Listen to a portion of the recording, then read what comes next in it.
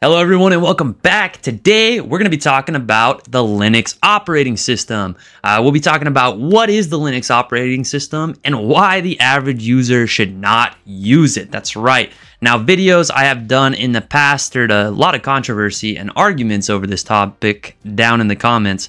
Videos such as Windows 10 is dying and can I upgrade my computer to Windows 11? Many users were very upset to hear that Windows 10 was going end of life and that we were recommending getting off of it. Um, in fact, anybody in the tech world who respects your safety is going to tell you to go ahead and stop using Windows 10 when the end of life comes.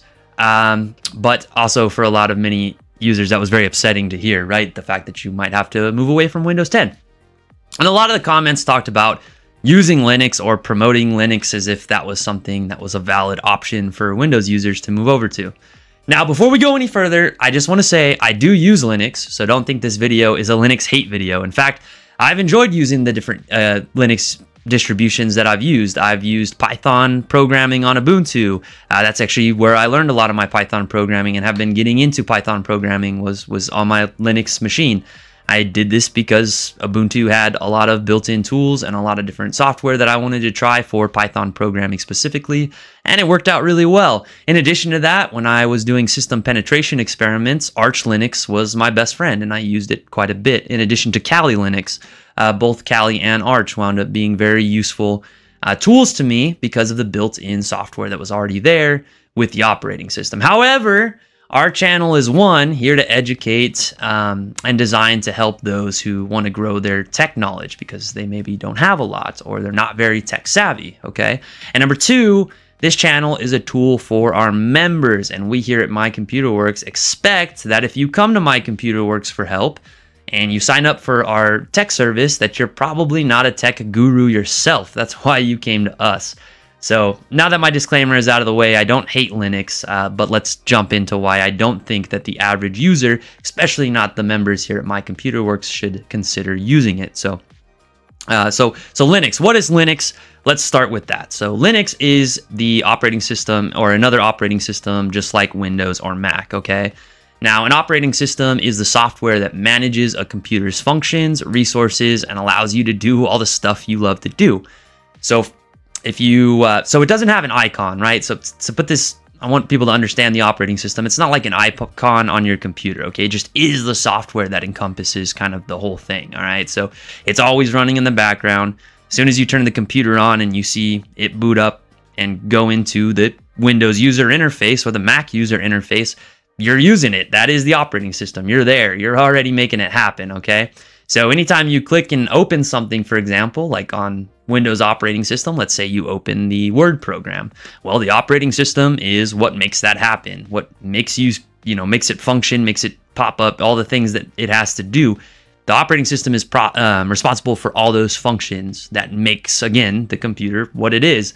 Without an operating system, the computer wouldn't function properly and you definitely wouldn't be able to do the stuff that you do or you wouldn't be seeing any of the stuff you're used to seeing, okay? So Linux is just another version of that, another operating system, just like Mac or Windows, but it's its own thing, okay?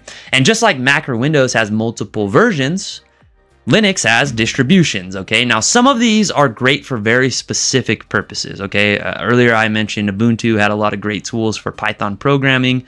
Um, Linux Arch Linux and Kali Linux are great for system penetration testers or anybody who's looking to get into the security field. Okay. They come with a lot of built in tools and software already there to help you do that. So unlike on your Windows computer, you don't have to go and install all that stuff. Um, it's already it's already there. There are some specific tools for those things like Python programming and system penetration testing that are involved with Linux. But again, the things I'm talking about are pretty advanced stuff. If you're Python programming and you're doing system penetration testing, you're not the average user, okay? You are a power user, which is completely different, okay? So for the average user, Linux is just not a realistic option, okay? Let's talk about all the reasons an average user would not want to use the Linux operating system, okay? So for one, the interface in Linux is not as user friendly, especially for people who again, are not tech uh, gurus or tech savvy. If you find yourself already getting lost on the Windows operating system, Linux is definitely not going to be for you, okay? Updating in Linux is not as simple as just going to settings and updating like in Windows. A lot of the tasks on the computer are not self automated.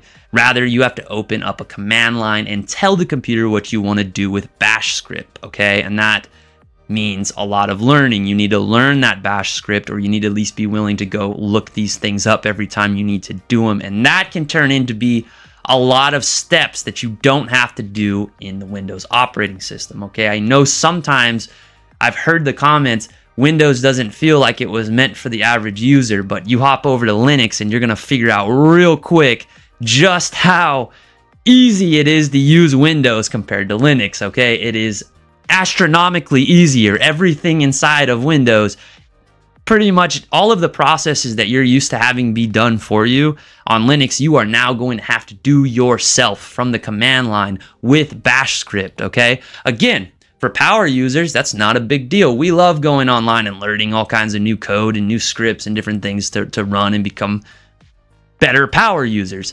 That is not the average user. The average user does not care about those things. They want to get on their computer and they want their computer to do what it's supposed to do.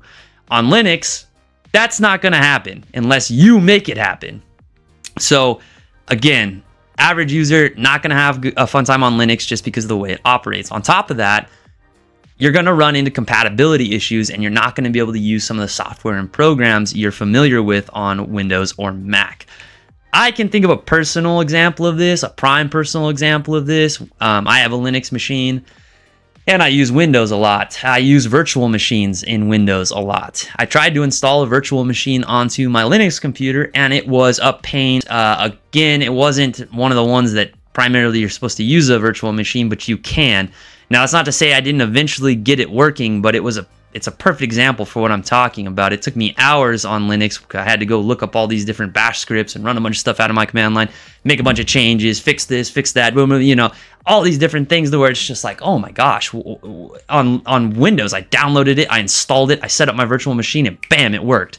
Um, games, another great example. If you're a gamer and you want a game on Linux, good luck. You're going to have to go through the Steam catalog for Linux specific games and you're not going to have a fun time finding out that a whole bunch of your games are not going to run on Linux operating system. Now they're trying to fix that compatibility as time goes on, but at the end of the day, Microsoft is the gaming company out there. I mean, they own Xbox, they've made Xbox. Xbox is rooted, it's already there on the operating system now. Even if you're a PlayStation player, whatever, you're just going to find that you're able to play all these games that you love on Windows operating system because Windows is the gaming operating system. It just is.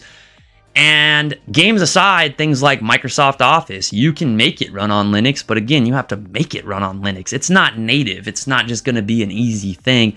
And you're going to run into issues as time goes on that again, send you back to the command line, putting in more bash script, trying to figure out how to fix issues, okay? Again, for guys like me or power users out there who like that stuff, that's great. We love tackling that. But if you are the average user, you're not tech savvy, you're not a tech guru, you just like to get on your computer and you know how to do the things that you do on the computer, which is maybe your business or just using it for everyday home use, you're not going to want to spend hours at a time trying to figure out how do I make this computer work like a Windows computer. Not a good time, okay? So at the bottom, oh, and you know what? I almost forgot one of the biggest things support Support for the Linux operating system is mostly all online. Companies like My Computer Works, we don't support Linux machines. We don't help with Linux machines. And so you're going to be going to be kind of on your own. So if you want to go down that road and uh, you want to be a power user and you don't want any kind of help and you can figure out everything you need to figure out on computers on your own, go by all means, go be a power user, go find it. However, down in our comments, um, we don't want to see it. Okay, we're here for people using the Mac operating system. We're here for people using the Windows operating system, Android, iOS. So you know, if you have an Apple device, an Android device, Windows computer, Mac computer, great. That's what we do. We focus on those operating systems because guess what? They have the largest market share, and they have the lot for, for average users anyway. Um, and there's a reason for that. So if you're looking for help and tips on any of the above mentioned Apple, Android, Windows, you know, devices, we got you covered. Definitely follow the channel. And even if you are a Linux user, that's great. Follow along as well. You never know what you might learn. And we love having you anyway. So, but for our average user, again, I'm not going to recommend you swap over to Linux anytime soon. Keep using Windows operating system, and when the end of life for Windows 10 comes next year, think about moving over to Windows 11 strongly. Strongly, you're going to need to uh, you need to think about that. And it's it's not there's nothing wrong with Windows 11. As I've said in my past videos, I've been using it. Um, they've run into issues that come with new operating systems, and that's going to happen. Uh, but they are fixing it up, and it's not a bad operating system at the end of the day. So. Uh, if you like this video, please hit the like and uh, share below. Um, subscribe if you haven't already, and leave a comment if you'd like. Thank you, everyone, and have a great day.